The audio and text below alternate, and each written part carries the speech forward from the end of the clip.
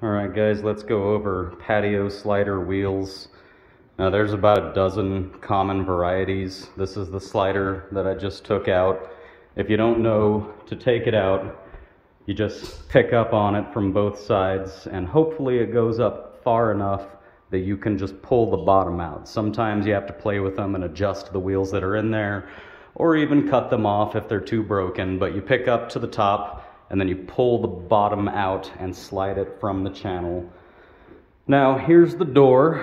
Uh, as you can see, I've pulled this edge off here and all that requires is just this one screw that goes into here.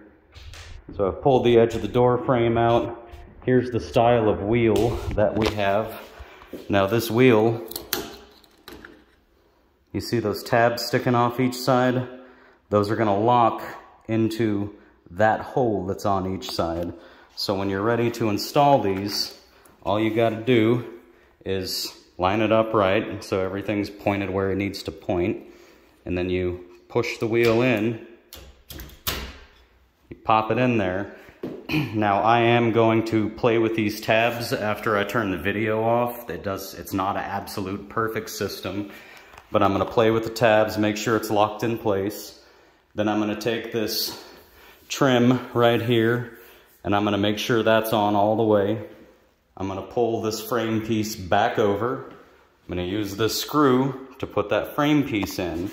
And then, if you can see right here, see the, so the hole that you're seeing to the right, that's for the frame to attach. And then to the left, you see that screw, that is the screw that you turn to the right or left. And when you do, it's going to raise or lower Come on, focus now. It's going to raise or lower that wheel in and out of the track so that you can adjust the door.